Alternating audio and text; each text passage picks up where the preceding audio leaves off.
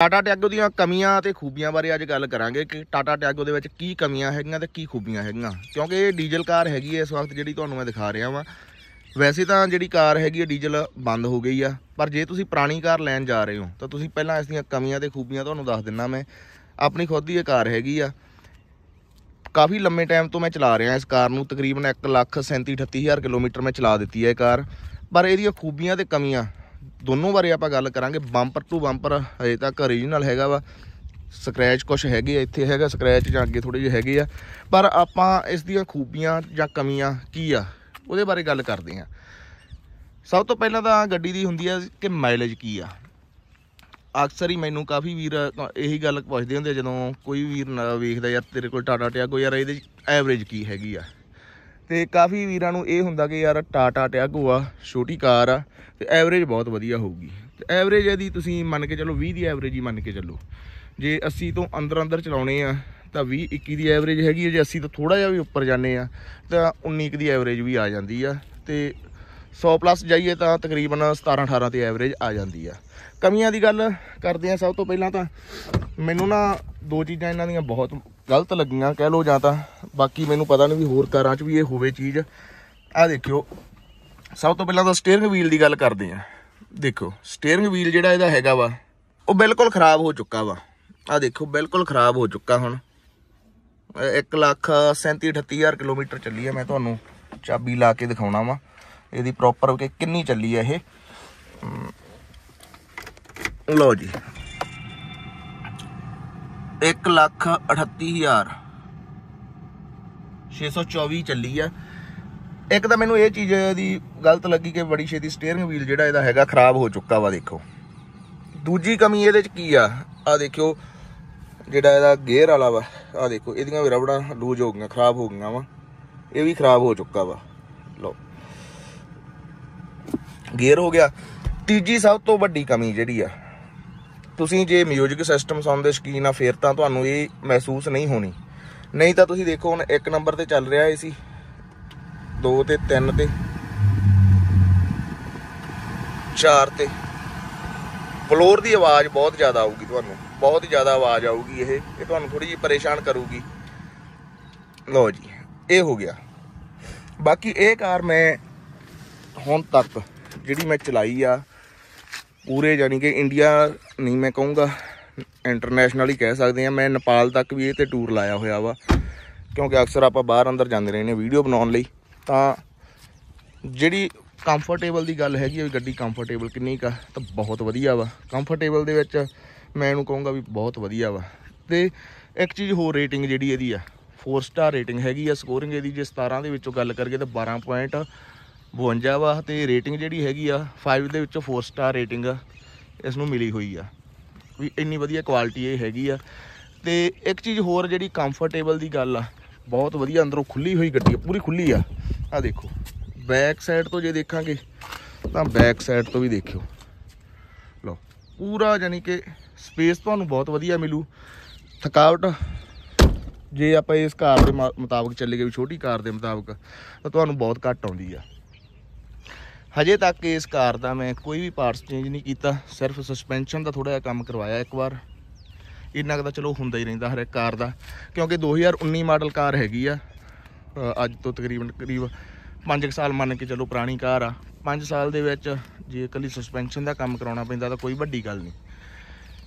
ਤੇ ਜੇ ਆਪਾਂ ਸਰਵਿਸ ਦੀ ਗੱਲ ਕਰੀਏ ਸਰਵਿਸ ਨਾਰਮਲ ਆ, ਪਰ ਜੇ ਆਪਾਂ ਨੂੰ ਡੀਜ਼ਲ ਫਿਲਟਰ ਬਦਲਨੇ ਪੈਣ ਇਸ ਦੇ, ਤਾਂ ਫੇਰ ਤੁਹਾਨੂੰ ਕਾਫੀ ਮੋਟਾ ਖਰਚਾ, ਯਾਨੀ ਕਿ 3500 ਦੇ ਡਬਲ ਡੀਜ਼ਲ ਫਿਲਟਰ ਆਉਂਦਾ ਇਹਦੇ ਵਿੱਚ। ਉਹ ਤੁਹਾਨੂੰ ਲਗਵਾਉਣੇ ਪੈਣੇ ਆ। ਜੇ ਆਪਾਂ ਕੰਪਨੀ ਤੋਂ ਲਵਾਵਾਂਗੇ ਤਾਂ ਤਕਰੀਬਨ 64 6500 ਰੁਪਏ ਦੇ ਆ। ਉਹ ਕਾਫੀ ਮਹਿੰਗੇ ਪੈ ਜਾਂਦੇ, ਜੇ ਬਾਹਰੋਂ ਲਵਾਉਣੇ ਆ, ਤਾਂ ਥੋੜਾ ਜਿਹਾ ਸਸਤੇ ਪੈ ਜਾਂਦੇ ਆ। ਬੂਟ ਸਪੇਸ ਵੀ ਵਧੀਆ ਹੈਗੀ ਇਹਦੀ। ਕੰਫਰਟੇਬਲ ਵੀ ਪੂਰੀ ਆ ਤੇ ਇੰਜਨ ਇਹਦਾ 1000 ਕੁਛ ਸੀਸੀ ਆ। ਜ਼ਿਆਦਾ ਵੱਡਾ ਇੰਜਨ ਨਹੀਂ, ਤਿੰਨ ਸਿਲੰਡਰ ਦੇ ਵਿੱਚ ਇਹ ਕਾਰ ਹੈਗੀ ਆ। ਤੇ ਜਿਹੜੇ ਹਿਸਾਬ ਨਾਲ ਇੱਕ ਮਾਈਲੇਜ ਦੀ ਗੱਲ ਹਰ ਇੱਕ ਬੰਦਾ ਸੋਚਦਾ ਯਾਰ ਵੀ ਛੋਟੀ ਕਾਰ ਆ, ਤਾਂ ਮਾਈਲੇਜ ਬਹੁਤ ਵਧੀਆ ਹੋਊਗੀ। ਪਰ ਮਾਈਲੇਜ ਦੇ ਪੱਖੋਂ ਜੇ ਕਹੀਏ ਤਾਂ ਵੀ ਮਾਈਲੇਜ ਪੱਖੋਂ ਥੋੜਾ ਜਿਹਾ ਹੈਗਾ ਵਾ। ਤੇ ਕਾਰ ਆਪਣੇ ਕੋਲੇ ਹੋਰ ਵੀ ਇੱਕ ਦੋ ਚੱਲਦੀਆਂ ਟਾਟਾ ਟਿਆਗੋ 16 ਦੇ ਵਿੱਚ ਇਹ ਕਾਰ ਆਈ ਸੀ। ਤਾਂ ਉਹ ਵੀ ਹਜੇ ਤੱਕ ਬਹੁਤ ਵਧੀਆ ਚੱਲ ਰਹੀਆਂ ਵਾ। ਪੂਰੀ ਲੈਂਥ ਪੂਰੀ ਵਧੀਆ। ਤੁਹਾਨੂੰ ਵਿੱਚ ਬੈਠ ਕੇ ਇਹ ਮਹਿਸੂਸ ਨਹੀਂ ਹੋਊਗਾ ਵੀ ਤੁਸੀਂ 1000 ਸੀਸੀ ਵਾਲੀ ਗੱਡੀ ਦੇ ਵਿੱਚ ਬੈਠੇ ਆ। ਕਮੀਆਂ ਇਹੀ ਮੈਨੂੰ ਇੱਕ ਲੱਗੀਆਂ, ਇੱਕ ਮੈਨੂੰ ਬਲੋਰ ਦੀ ਆਵਾਜ਼ ਜ਼ਿਆਦਾ ਲੱਗੀ। ਮਾਈਲੇਜ ਜਿਹੜੀ ਹੈ ਜੇ ਆਪਾਂ 1000 ਸੀਸੀ ਇੰਜਨ ਦੇ ਹਿਸਾਬ ਨਾਲ ਕਹੀਏ, ਤਾਂ ਆਪਾਂ ਨੂੰ ਮਾਈਲੇਜ ਇਹਨੂੰ ਦੇਣੀ ਚਾਹੀਦੀ ਸੀ ਕੋਈ 24 25 ਦੀ। ਕਮ ਸੇ ਕਮ ਮਿਨੀਮਮ ਇੰਨੀ ਚਾਹੀਦੀ ਸੀ, ਪਰ ਉਹ ਇਹਨੂੰ ਇਹ ਨਹੀਂ ਦਿੱਤੀ। ਤੇ ਬਾਕੀ ਇਹਦਾ ਜਿਹੜਾ ਜਿਵੇਂ ਮੈਂ ਤੁਹਾਨੂੰ ਪਹਿਲਾਂ ਦੱਸਿਆ ਸਟੀਅਰਿੰਗ ਵੀਲ ਇਹਦਾ ਖਰਾਬ ਹੋ ਚੁੱਕਾ ਵਾ ਗੇਅਰ ਲੀਵਰ ਦਾ ਮੁੱਠਾ ਉਹ ਖਰਾਬ ਹੋ ਚੁੱਕਾ ਵਾ। ਆ ਦੇਖੋ ਸਟੀਅਰਿੰਗ ਦਾ ਤਾਂ ਬਹੁਤ ਮੰਦਾ ਹਾਲ ਹੋ ਗਿਆ। ਆ ਦੇਖੋ, ਇਧਰਲੇ ਪਾਸੇ ਹੱਥ ਰਹਿੰਦਾ ਜਿੱਥੇ ਜਿੱਥੇ ਬਹੁਤ ਭੈੜਾ ਲੱਗਦਾ ਵਾ। 1 ਲੱਖ ਤੇ 38000 ਤੇ ਇਹ ਹੁਣ ਯਾਨੀ ਕਿ ਵੀਲ ਬਦਲਣ ਵਾਲਾ ਹੋ ਗਿਆ ਵੀ ਬਦਲਣਾ ਹੀ ਪੈਣਾ ਇਹ। ਇੰਨਾ ਕੁ ਖਰਾਬ ਹੋ ਚੁੱਕਾ ਵਾ। ਤੇ ਬਾਕੀ ਹਜੇ ਤੱਕ ਇੱਕ ਚੀਜ਼ ਹੋਰ ਦੇਖਿਓ, ਜਿਹੜੀਆਂ ਕਿਉਂਕਿ ਆਪਾਂ ਹਰ ਇੱਕ ਕਾਰ ਦੀ ਜੇ ਕਮੀ ਹੈ ਤਾਂ ਖੂਬੀ ਵੀ ਹੈਗੀ ਆ, ਇਹ ਦੇਖਿਓ। ਇੱਥੋਂ ਬਾਰੀ ਖੋਲੀ। ਲਓ ਜੀ, ਇੱਥੇ ਰੁਕ ਗਈ। ਇੱਥੋਂ, ਲਓ ਜੀ, ਇੱਥੇ ਰੁਕੀ। ਤੇ ਜਦੋਂ ਇਸ ਨੂੰ ਬੰਦ ਕਰਾਂਗੇ ਤਾਂ ਆਵਾਜ਼ ਤੁਹਾਨੂੰ ਜਿਹੜੀ ਆਊਗੀ ਬਹੁਤ ਵਧੀਆ, ਬਹੁਤ ਭਾਰੀ ਆਵਾਜ਼।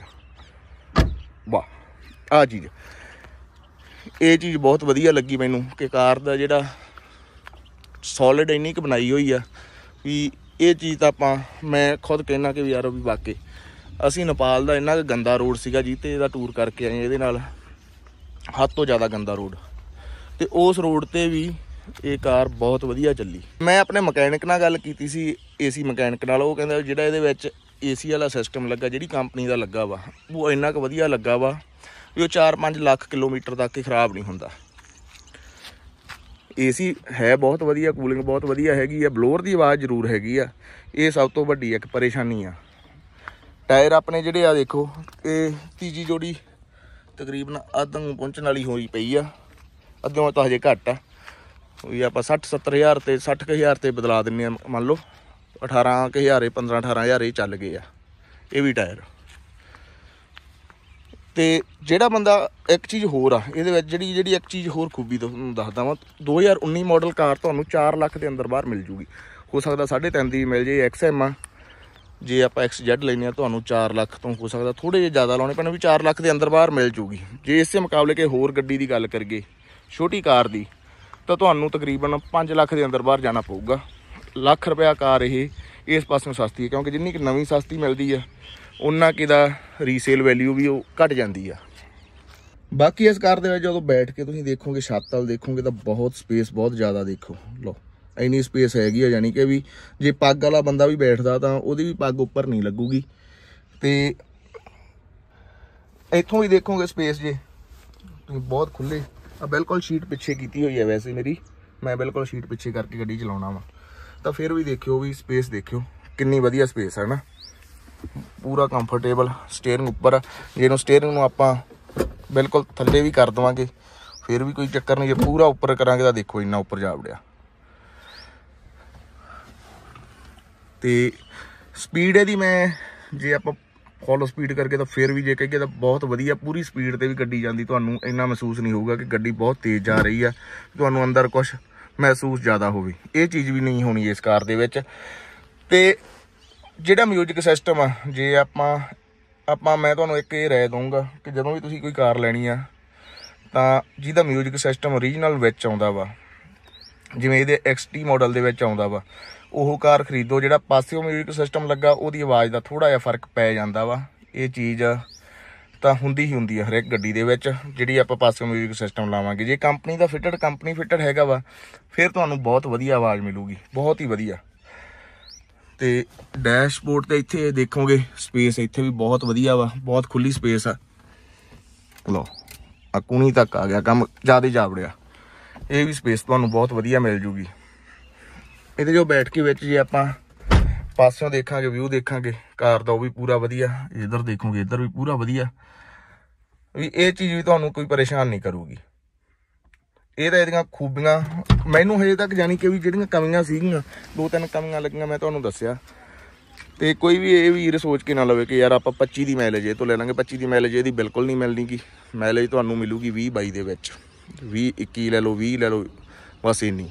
25 ਦੀ ਮਾਈਲੇਜ ਤੱਕ ਦੇ ਸੋਚਿਓ ਨਾ 24 ਦੀ ਵੀ ਨਾ ਸੋਚਿਓ ਇਸ ਤੋਂ, ਵੀ 24 ਦੀ ਮਾਈਲੇਜ ਵੀ ਆਪਾਂ ਲੈ ਲਾਂਗੇ। ਤੇ ਬਸ ਇਸ ਕਾਰ ਬਾਰੇ ਇੰਨਾ ਕੀ ਆ ਡਿਟੇਲ ਕਿਉਂਕਿ ਆਪਾਂ ਜ਼ਿਆਦਾ ਛੋਟੀਆਂ ਛੋਟੀਆਂ ਗੱਲਾਂ 'ਚ ਨਹੀਂ ਜਾਣਾ ਕਿ ਲਾਈਟਸ ਕਿਹੋ ਜਿਹੀਆਂ ਵਾ ਫੌਗ ਲੈਂਪ ਕੀ ਆ, ਇਹ ਚੀਜ਼ਾਂ ਤਾਂ ਛੱਡ ਦਿਓ। ਇਹ ਚੀਜ਼ਾਂ ਦਾ ਹਰ ਇੱਕ ਬੰਦਾ ਦੇਖ ਕੇ ਹੀ ਗੱਡੀ ਲੈਂਦਾ ਵਾ। ਜਿਹੜੀਆਂ ਮੋਟੀਆਂ ਮੋਟੀਆਂ ਗੱਲਾਂ ਹੁੰਦੀਆਂ ਵੀ ਮਾਈਲੇਜ ਕੀ ਆ, ਗੱਡੀ ਦੇ ਵਿੱਚ ਜੇ ਕੋਈ ਕਮੀ ਆ, ਉਹ ਤੁਹਾਨੂੰ ਦੱਸਦੀ ਆ। ਬਾਕੀ ਨਿਸ਼ਚਿੰਤ ਹੋ ਕੇ ਲੈ ਸਕਦੇ ਆ, ਜੇ ਗੱਡੀ ਤੁਹਾਨੂੰ ਸਾਫ਼ ਮਿਲਦੀ ਆ। ਸੈਕਿੰਡ ਹੈਂਡ ਤਾਂ ਤੁਸੀਂ ਲੈ ਸਕਦੇ ਹੋ। ਤੁਹਾਨੂੰ ਤੰਗ ਨਹੀਂ ਕਰੂਗੀ ਕਾਰ ਇਹ। ਤੇ ਇਸੇ ਤਰ੍ਹਾਂ ਆਪਾਂ ਹੋਰ ਵੀ ਕਾਰਾਂ ਦੇ ਰਿਵਿਊ ਇਸੇ ਤਰੀਕੇ ਨਾਲ ਦਵਾਂਗੇ ਵੀ ਕੀ ਕਮੀਆਂ ਹੈਗੀਆਂ ਤੇ ਕੀ ਖੂਬੀਆਂ ਹੈਗੀਆਂ ਵਾ। ਉਮੀਦ ਕਰਦਾ ਵੀਡੀਓ ਵਧੀਆ ਲੱਗੀ ਹੋਗੀ ਵੀਡੀਓ ਵਧੀਆ ਲੱਗੀ ਤਾਂ ਵੀਡੀਓ ਨੂੰ ਲਾਈਕ ਤੇ ਸ਼ੇਅਰ ਕਰਿਓ। ਧੰਨਵਾਦ।